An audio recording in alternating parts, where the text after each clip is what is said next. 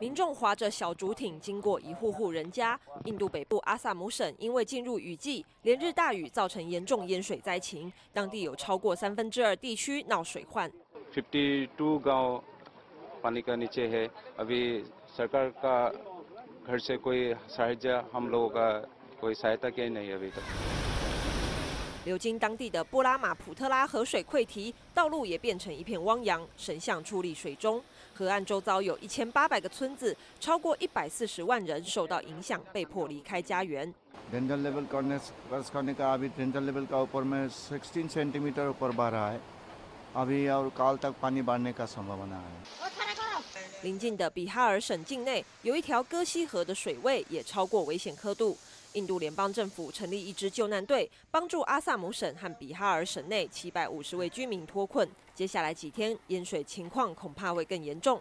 当地官员及时准备帐篷和救灾物资，尤其是为淹水特别严重的地区准备医疗用品，以防日本脑炎或其他水灾后引发的相关疾病。